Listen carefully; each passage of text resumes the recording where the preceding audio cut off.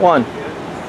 Hello, this is Twice Baked in Washington, and I am out here at MMJ Universe in Black Diamond, Washington with Shane. Hello. Hi. So, oh, there's a there's a rooster running across.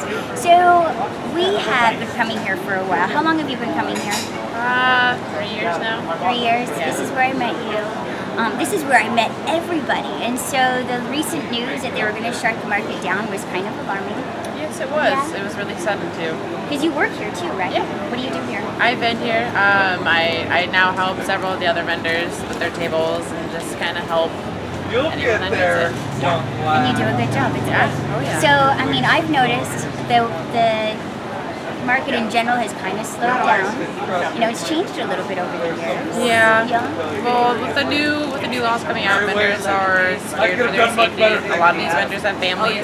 They were more more worried about their families than than being out here and vending. They, you know, they'd rather keep their families. As they should. Yeah. Everybody needs to be aware of the laws that are changing right now. Yeah. Right? So, how are the new laws affecting you?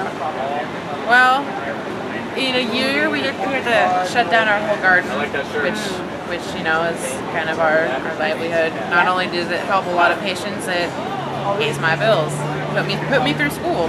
So that's that's one big thing that's happening. All the collectives around Seattle they have to be shut down, which is a real issue for patients that Access. well, yeah. Right. There are a lot of patients that come over the mountains for for their medicine over here because they don't have it over there. Yeah.